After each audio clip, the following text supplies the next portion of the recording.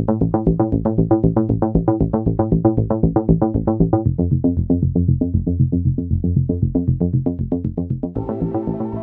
everyone, and good Wednesday evening to you. It is weather for Weather Geeks. This is the video that focuses mostly on eastern Ohio and western PA, but we talk about weather news elsewhere across the country when appropriate. And I wanted to start out this evening with today being another big day in weather history across our area. I wanted to talk about the blizzard of 1978. I'm going to get the camera out of the way here, and this weather map that is the background of uh, my uh, kind of my title screen here is the weather map from this date back in 1978 as the Great Blizzard uh, rolled on across Ohio, Pennsylvania, Indiana, Michigan, uh, one of the strongest low pressure systems to ever traverse the Buckeye State, was rolling through right around uh, this time 44 years ago today. Now, I was born about a month after the blizzard of 78, and I was born in southwest Ohio, closer to Dayton.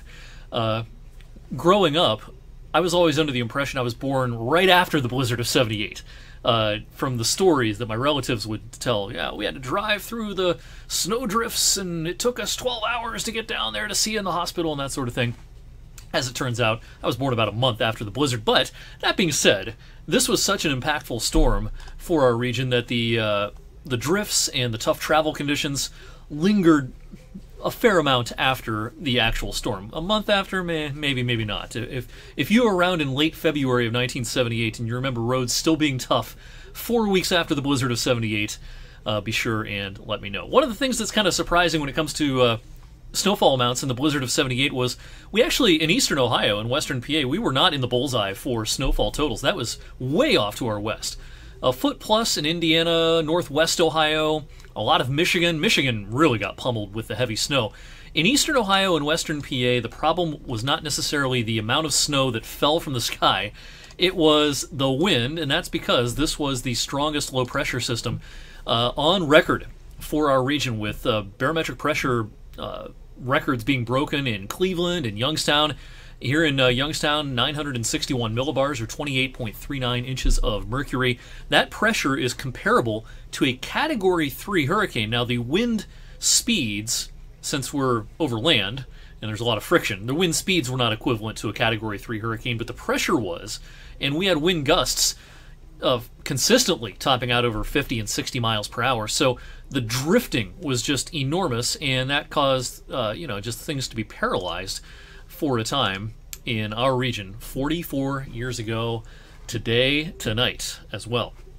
This season, we've seen nothing like that. We haven't seen a blizzard that is on par with 1978 since then. We've had bigger snowstorms, but we haven't had bigger wind producing snowstorms since then. And for the season, we're running just 3.7 inches behind average now after a pretty snowy last couple of weeks. Places such as Erie and Cleveland, a little bit closer to Lake Erie, still some pretty decent snowfall deficits for the season up near the shoreline and closer to the primary snowbelt. Beautiful sunset this evening, not a cloud in the sky, and with a crystal clear sky, it is turning cold in a hurry. As of this recording at 7:30 p.m., we already have some places flirting with zero. Current temperature at the airport, again about 726, 11 degrees, one of the colder spots in the lower 48 states, aside from some parts of New England this evening. Now, there is somewhat, somewhat milder air off to our west. This will make inroads over the next uh, 24 hours, but any warm up is going to be a brief one, and we won't even touch freezing tomorrow afternoon. The Weather Service in both Cleveland and Pittsburgh did hoist a wind chill advisory for tonight. I think it's a borderline situation as far as wind chills meeting advisory criteria tonight. There's not much of a breeze, but with temperatures slipping below zero in most communities and a five or six mile per hour breeze, you can get a wind chill down to minus 10, maybe even a little bit colder in some spots uh, by the end of the night tonight. Here's one model depiction of some of the numbers. And, you know, this is just model information, and, and, certainly there'll be some localized variations. But as we get up tomorrow morning, some localized wind chills of minus 8, minus 10, minus 12, that's going to be a possibility. This, of course, raises uh, some people's suspicions as far as uh, two hour delays for schools and that sort of thing tomorrow morning. I, I can't tell you what's going to happen there. That's outside of my area of expertise. Um, but when it comes to the criteria for a wind chill advisory, this is pretty borderline tonight. Uh, not much in the way of a breeze, but no matter which way you slice it, it's cold.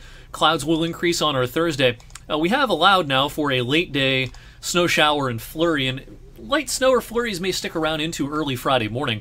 Uh, probably some small accumulations and some localized slick spots, something to watch out for, even though amounts are going to be pretty meager.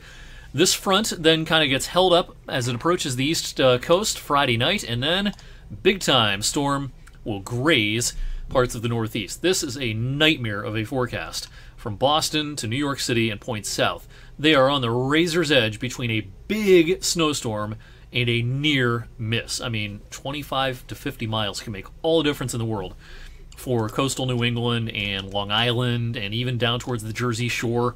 Uh, this is a very, very tough forecast. The potential is there for a high end snowstorm. Potential is also there that this just is barely a miss and they don't see much at all. Here locally, amounts with our snow showers and flurries Thursday night, early Friday should be under an inch.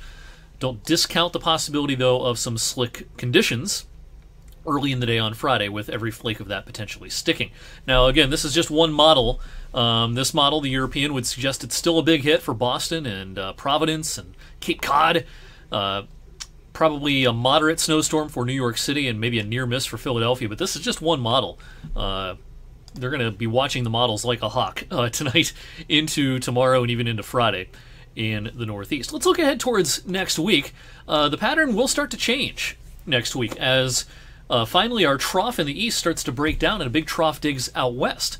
And so it will warm up next week. Uh, we're talking mid 40s for highs for at least a day or two.